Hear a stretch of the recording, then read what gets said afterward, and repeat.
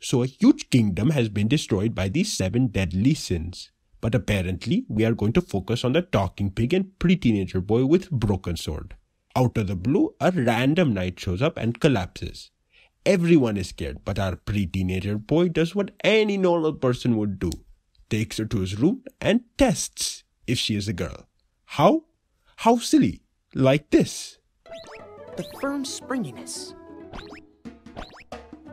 Yep, she's a girl. It turns out that this girl is actually the princess of the huge kingdom destroyed, aka Liones, and her dad, aka the king, has been imprisoned.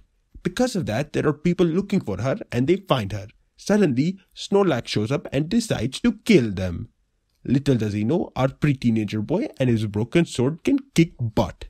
It turns out that he is the dragon sin Meliodas, yes, that one, and sends Snorlax flying.